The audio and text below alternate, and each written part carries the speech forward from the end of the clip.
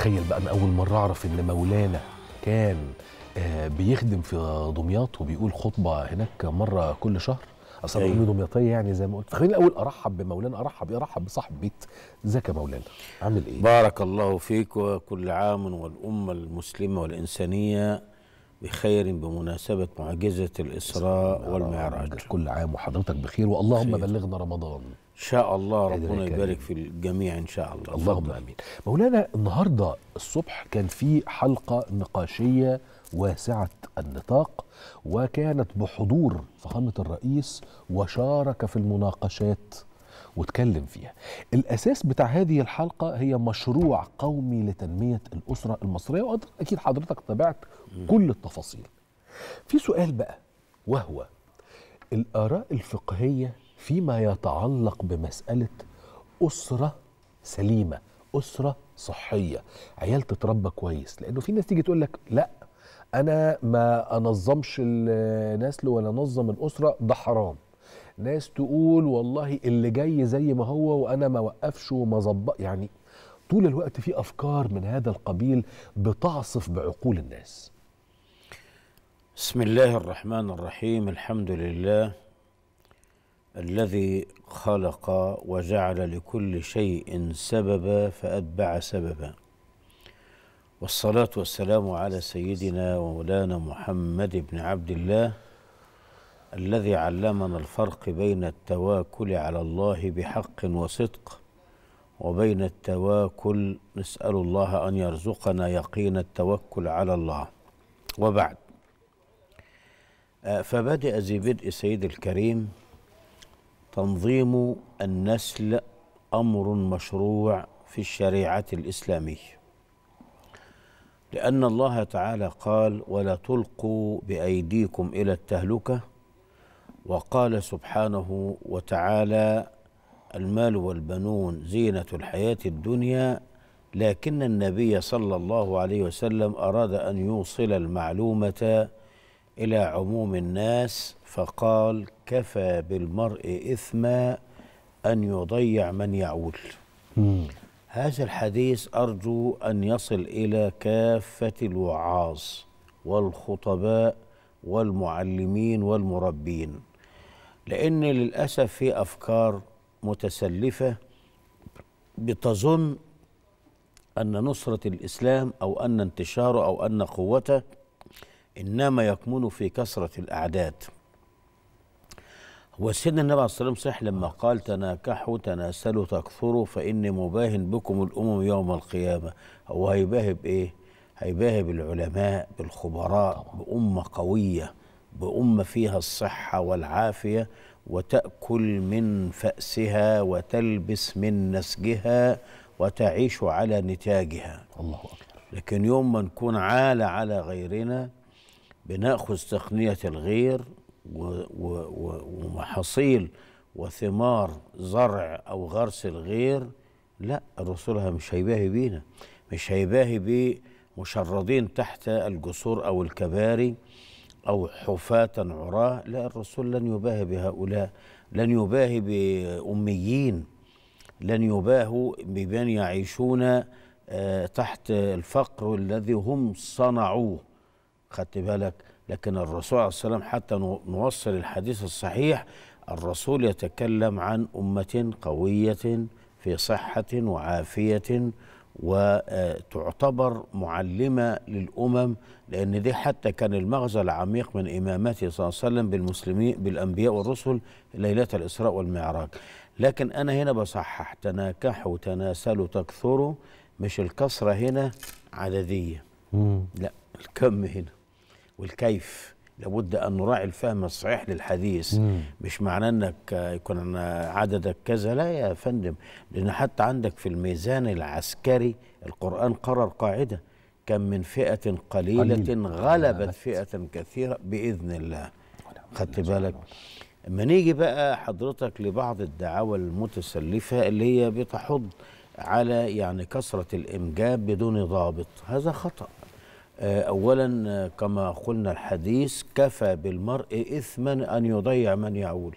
يعني إنسان عارف إمكانياته المالية حدوده ال ال الاقتصادية. ثم ينجب ينجب ينجب بدون حساب لا يعرف يطعم ولا يكسي ولا يعلم ولا يربي. يبقى ضيعهم. سيتحمل أوزارهم. إثم. نعم. ده الرسول بيقول إيه؟ ده الحديث يخوف. كفى بالمرء خطأ. اثما.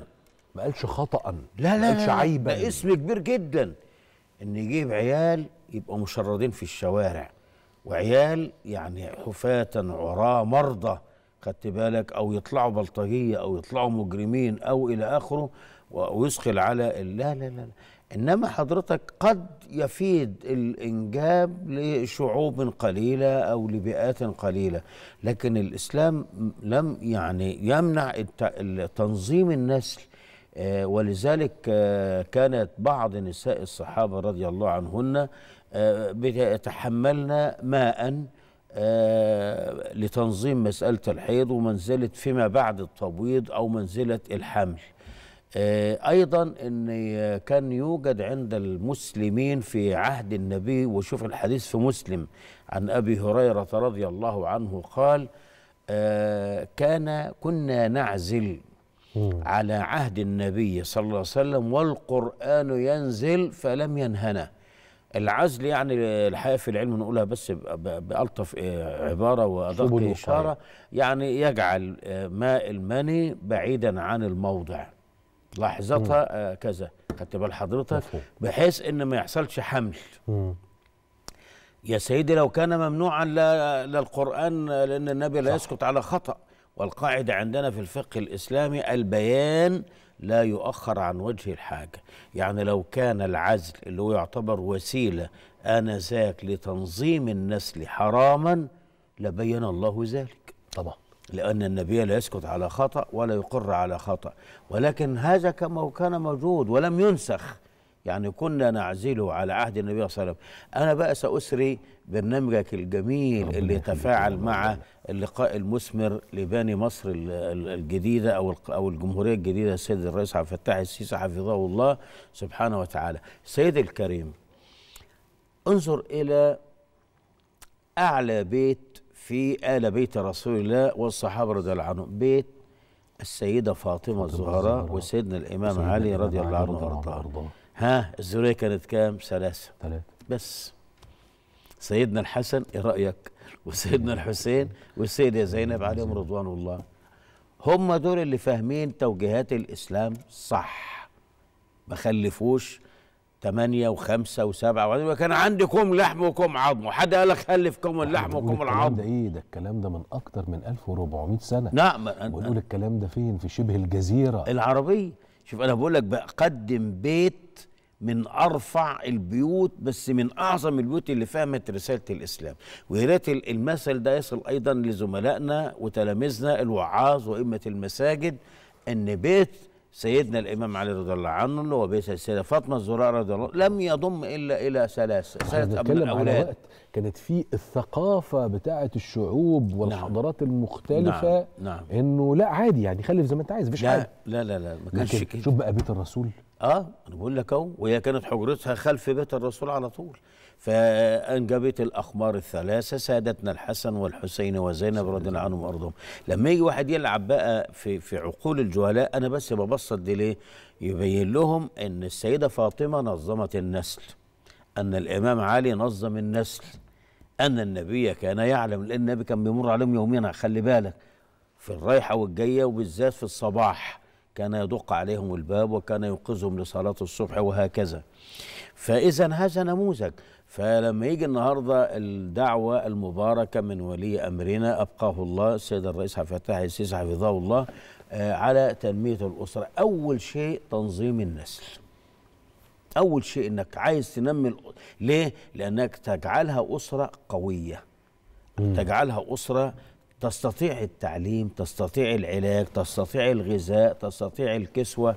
خدت بالك؟ طيب جزء من الكلام اللي اتقال النهارده مسألة التمكين الاقتصادي للمرأة. نعم. يجي ناس برضو تعبث بالعقول فيقول لك وعمل المرأة حرام لا لا لا. خروج المرأة من المنزل حرام إلى آخره. هو إزاي عمل المرأة حرام؟ وإحنا شفنا برضو أيام الرسول صلى الله عليه وسلم كانت الستات بتعمل بعد البعثة المحمدية المشرفة. نعم هو يا سيدي بس لو قرأ القرآن وقرأ شيء من السيرة هم معظم هؤلاء بغبغاوات ير- يرددون ما لا يفقهون. يعني حضرتك نقرأ سورة القصص. فنجد ابنتا ابنتي الرجل أو العبد الصالح المشهور خطأ بإنه شعيب بس مش شعيب النبي. شوف كانوا بيرعوا الغنم. وبعدين طبعا أنت عارف القصة سيدنا موسى ما راح ارض مدين. قريب من حدود الأردن وبعدين لا نسقي حتى يزور الرعاء وأبونا شيخ كبير وإلى آخر القصة. آه بنجد برضو حضرتك في السيرة النبوية إن النساء الصحابيات كن يذهبن إلى سوق المدينة. نفجر بقى المفاجأة. ده الآن كان عندنا إلى قريب مفتش التموين وشرطة التموين. سليم؟ كانت السيدة ليلى بنت عبد الله. اللي هي ال- الشفاء. أحسنت أحييك. سيدنا عمر بن الخطاب لما وجد أنها عالمة بالمكاييل والموازين والأسعار فعينها محتسبة على سوق المدينة. كانت هذه المرأة تراقب الأسواق مراقبة دقيقة. كانت وزير تموين طبعاً. ورئيس جهاز حماية مستهلك أنا أقول لك بقى اللي بيخلي برضو المتسلفة والفكر الرجعي الظلامي يقول لك إيه؟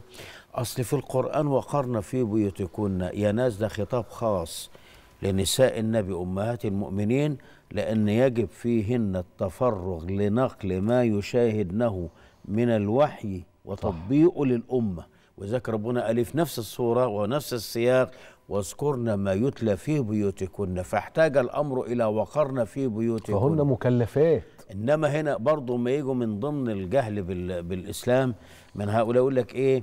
إن المرأة لا تتولى مقاليد أي شيء لأن ما أفلح قوم ولوا امرهم امرأة. يا حبيبنا ده خاص وليس عام ده مقيد وليس مطلق لأن ده في حق بنت كسرى التي وثبت على أخيها فقتلته. فلما بلغ النبي هذا قال ما أفلح قوم ولوا أمرهم امرأة. يغلق على حادثه بنت كسرى فقط. ده الخاص وليس العام. بس إنما حضرتك ما إحنا عندنا النابغات والنابغات السيدة عائشة رضي الله عنها وأرضاها والسيدة أم سلمى كانت آه، رضي الله عنها مستشارة للنبي صلى الله عليه وسلم السيدة وأشارت خديجة عليه. بنت خويلد. ده دي بقى قصة لوحدها هو في كده؟ وكانت تشارك الرجال يعني بالأموال مضاربة اللي هي الآن استثمار في آه. البنوك. خدت بال سيادتك.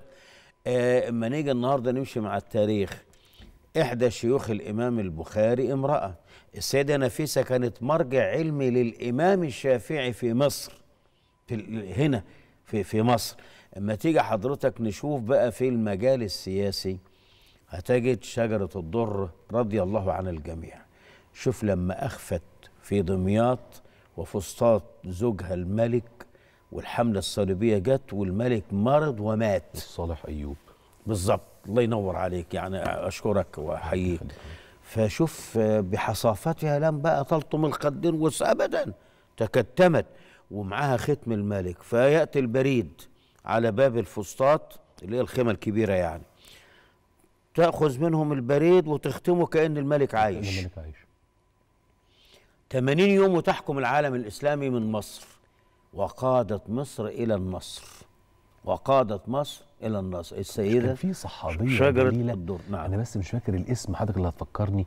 أو وشاركت في فتح قبرص. آه. ولها هناك هناك قبر. مقام. آه. قبر أم حرام أم حرام أم حراء أم حرام و- و- وهي قالت الرسول أصل الرسول كان كان نائما عندها في في القيلولة. فقام يبتسم صلى الله عليه وآله. فقالت أضحك الله سنك على ما تبتسم يا رسول الله. قال رأيت رجالا من أمتي يركبون ثبج هذا البحر كأنهم الملوك على الأسرة. فيفتحون ما وراء هذا البحر أشار يعني إلى بحر المتوسط فيما بعد. فالمهم فالرسول صلى الله عليه وسلم قال إن هم شهداء فينهم شهداء يدخلون الجنة. قالت ادعو الله يا رسول الله أن أكون معهم. قال أنت معهم. ففي عهد سيدنا عثمان بن عفان كان سيدنا معاوية رضي الله عن الجميع أنشأ أول أسطول بحري للمسلمين سيدنا معاوية بن أبي سفيان.